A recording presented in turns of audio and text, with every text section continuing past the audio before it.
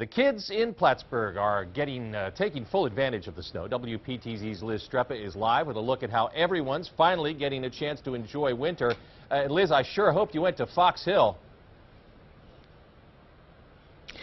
I sure did, George, and kids were having a blast there. We got a lot of really thick, heavy snow, which is awesome if you're looking to have a snowball fight, and it's also really good for sledding. We saw about a dozen or so kids and families at Fox Hill this afternoon taking advantage of the snowy paradise.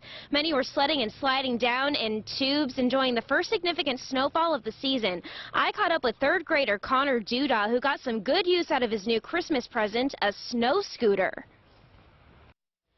Today was fun because I saw my friend. He was here, but then he left, and pretty much everybody else was here, and it looks like they're having a fun time.